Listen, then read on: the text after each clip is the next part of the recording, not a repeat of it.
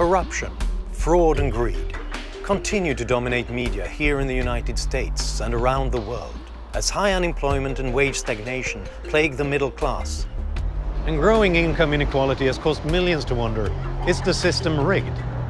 Is the free market in its very nature corrupt? What is the relationship between morality and markets?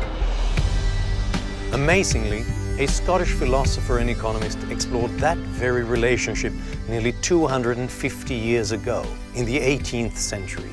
His name was Adam Smith. Adam Smith was first and foremost a moral philosopher. His great gift was observation. But perhaps he's best known for his groundbreaking work in economics.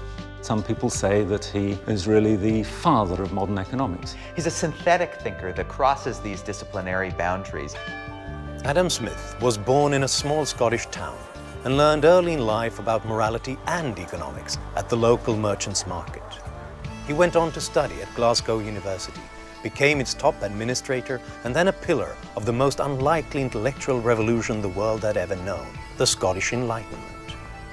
He lived, lectured and socialized in Scotland's capital city of Edinburgh, created the unique economic concept of an invisible hand to describe what happens when we act in our own self-interest, and invented the idea of the impartial spectator in his surprising analysis of the evolution of morality.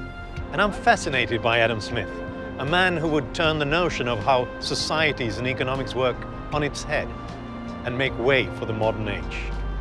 He recorded his ideas in two comprehensive books, The Theory of Moral Sentiments and The Wealth of Nations.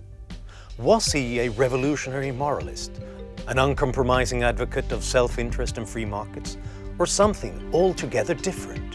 Who was the real Adam Smith?